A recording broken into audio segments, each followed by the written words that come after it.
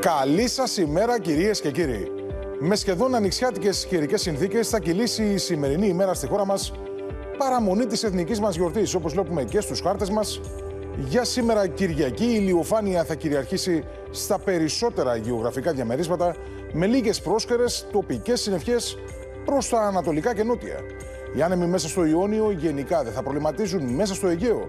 Θα επιμείνουν οι τοπικά ισχυροί βορειάδε, προσεγγίζοντας τα 6, πιθανόν για λίγο ακόμη και τα 7 μποφόρ, ιδιαίτερα προς τα κεντρικά τμήματα του Αιγαίου. Ο υδράργυρο, αν και ξεκινά από χαμηλές τιμές, τώρα νωρίς το πρωί, αργά το μεσημέρι, θα προσεγγίσει σε αρκετές περιοχές τους 23 με 26 βαθμούς Κελσίου.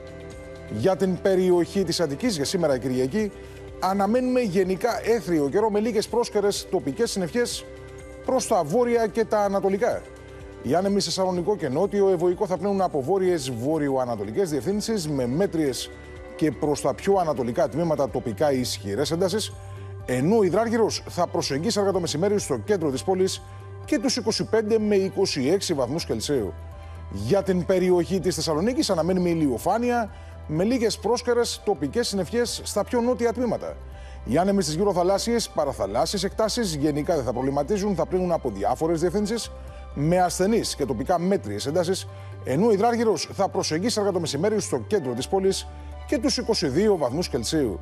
Σε ό,τι αφορά τώρα την αυριανή ημέρα, 28 Οκτωβρίου, το κυριότερο χαρακτηριστικό θα είναι οι υψηλές για την εποχή θερμοκρασιακές τιμές. Θα βλέπουμε αργά το μεσημέρι τον υδράργυρο να προσεγγίζει σε αρκετές περιοχές τους 23 με 26 βαθμούς Κελσίου, ενώ το βορειαδάκι θα επιμείνει μέσα στο Αιγαίο με τοπικά ισχυρές εντάσεις. Κατά τα άλλα, η ηλιοφάνεια αναμένεται να κυριαρχήσει σχεδόν σε ολόκληρη τη χώρα με λίγες πρόσκαιρες τοπικές συννεφιές προς τα ανατολικά και νότια. Κυρίες και κύριοι, να έχετε μια όμορφη μέρα.